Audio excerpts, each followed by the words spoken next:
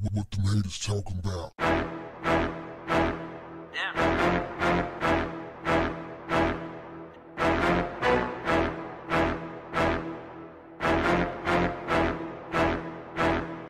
What's up, family? The former manager of a California Chipotle Mexican grill who was accused of stealing more than $600 was awarded a whopping $8 million for wrongful termination on Thursday. Jeanette Ortiz was accused in 2015 of stealing $626 in cash from a safe at the Fresno restaurant. Ortiz's boss claimed the theft was caught on camera, but she was never shown the video because her bosses told her the evidence had been destroyed. Ortiz filed a wrongful termination suit after she was let go. A California jury ordered the restaurant to pay Ortiz $7.97 million in damages. The jury ruled Ortiz was a victim of a scheme to defame her for filing a workers' compensation claim for a job related risk injury caused by carpal tunnel syndrome. The jury deliberated for about four hours before a verdict was reached. They gave her $6 million for emotional distress and $1.97 million in loss of wages. How does that happen? That is a lot of money. Now, this case went down in 2015, so she was off for three years.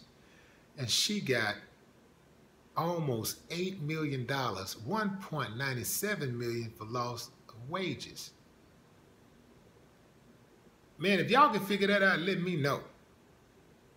Now, here's the thing. These companies tend to do this more often than not. Anytime somebody wants to file a workman's comp, they try to get rid of them and they, they, they come up with all kind of things. You know, they, they get real, real greasy, man. A lot of these companies are like that. It's like standard procedure. Especially you get hurt on the job, you know, anything happen to where you getting a check and you ain't working, oh man, they finna try to shut you down. And don't don't be talking about filing no lawsuit for something discrimination or something like that, you out of here. They're gonna get rid of you. Can't have that. No, that's that's like bringing down morale even lower than what it already is. You can't do that. If if the store was right, if the restaurant was in the right, why destroy the evidence? This is the evidence you need to protect yourself. Why destroyed? Because they was wrong. They targeted her. And the jury saw it her way. Now, I don't believe that that judgment, the amount of the judgment is going to hold up. The judgment will hold, but the amount is not going to hold up. I believe that that number is going to be considerably reduced. Chipotle got a lot of judges.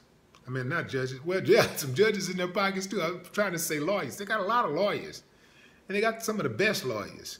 So I'm sure that in the appeals process, that that fee will get reduced big time. $1.97 million for three years of lost wages at a fast food restaurant? Come on, y'all.